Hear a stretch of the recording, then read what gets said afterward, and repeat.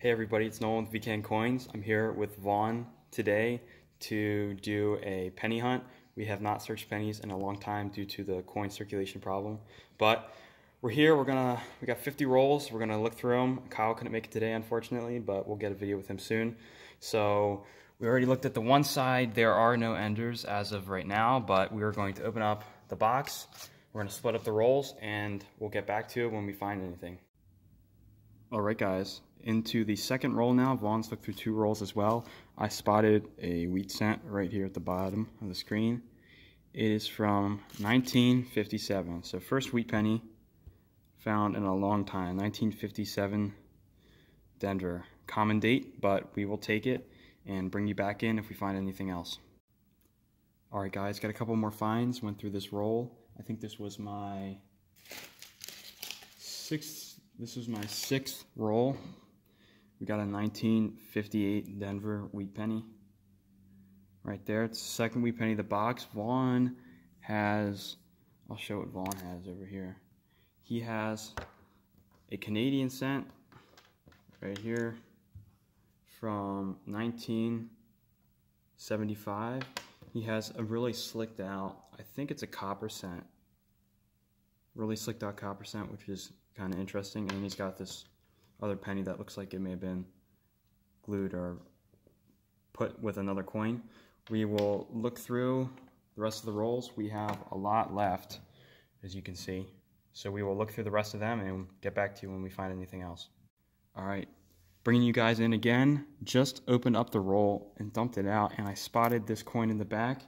It is a 1939 wheat cent. So one of the older ones that I've found in pretty nice shape. I'll just go through the rest of the roll here live so you guys can see. Also looking for varieties, which I will look for later. But we'll just go through and see if we spot any more wheats, and then I'll look for varieties afterward. Found a couple nice copper cents already and also found a Bermudan coin in Vaughn's uh, Canadian. Doesn't look like there's anything else in this roll, so we will look through it a little bit more for any varieties, and then we will get back to you with any other finds. Alright guys, went through this roll. Just pulled out a 1944 wheat cent. I'm on my 13th roll, so is Vaughn. He's only found this Canadian so far, so I guess I've just been getting lucky with the rolls I've been picking out of the box. We've just been randomly picking them out, so 1944, we'll go through the rest of the roll here.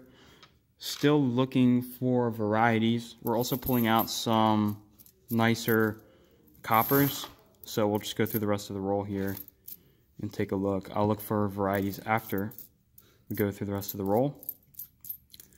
All right, nothing else left. Got a couple coppers with some estimate marks as well, but we will get back to you with any other finds.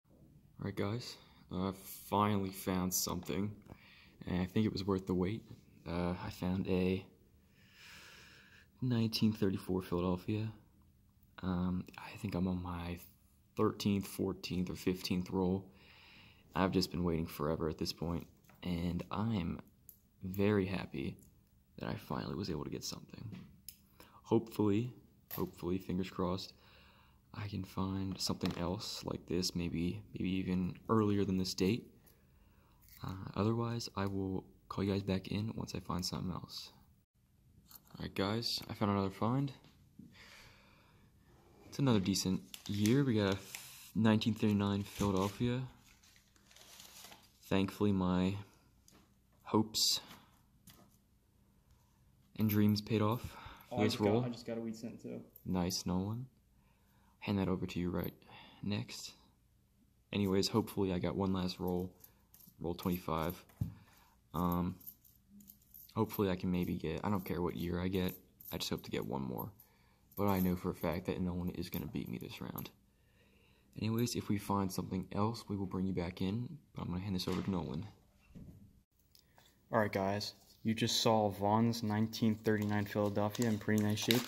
While he was opening that roll, I decided to open up the third to last roll that I have. I have two left right here. and I pulled out a 1944 Denver. Nice shape. I'm not sure if I have a 44 Denver in my book. Some really nice detail on the wheat ears. So nice find, and we will get back to you if we find anything else in the last couple rolls, and then we will give you a wrap up. Alright guys, I'm on my last roll, so what I'm going to do is I'm going to go through it here live for you guys. Already cracked a little bit of it open. Vaughn went through his last roll and did not pull anything out. You can see the edges. Looks like we got a couple coppers, so we will go through the last roll of the box. Take a look and see if we got any wheat pennies. No varieties have been found today, but looks like we got a couple more coins to go through. We will see what we pull out. Decent amount of copper in this box as well. Um, not a ton, but definitely not a crazy low amount. I'm quite certain there are no wheat pennies in this last roll. Nope, oldest one was a 64 Denver. Yep. Yep, oldest one was a 64 Denver. So with that, we will bring you back in in one second for the wrap up of what we found today. Alrighty guys, we're going to go through the finds for the box. 50 rolls um, of pennies from a $25 box of pennies. Found, I think it was a total of seven wheat cents, so not that many. Uh, I usually average between 8 and 10 to 12. Um, and if you're Kyle, I guess you get 40 a box. Um, so we'll go through my finds first. Got a 1957 Denver, 1958 Denver, a 1944, a 1944 Denver, and a 1939 was my oldest wheat cent I found. Got three or two nice memorial cents, a 1971 S and a 1965, and also had a Bermudan coin from 1998. Three more. I pulled out a 70S, a 71S, and a 73S. I was not sure whether or not I had those in my coin book, but after further um, inspection, I found that I did. So those won't be updating. However, the 1965 and the 1971S will both be upgrading in my book. We'll go over to Vaughn's finds now. Vaughn found a 1934 as his oldest wheat cent. Both of his finds were from the 30s, so he did not find much, but they were both old, so 34 and a 39. He found a Canadian cent from, I believe, 1975, a weird looking 1985, and a slightly off center 1971 copper cent. He also found a very slicked out, I believe, a copper cent, um, and a very nice 1968.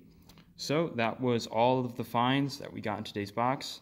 I'd like to thank you guys again for watching this video and supporting the channel. If you'd like to, leave a like on this.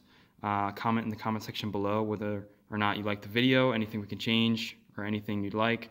Turn on post notifications, subscribe, and make sure you follow VKN Coins on Instagram if you have an Instagram account. That's all lowercase VKN underscore coins. I'll put uh, it up on the screen so you guys can see. And anyway, thank you guys for watching and stay tuned for more future videos.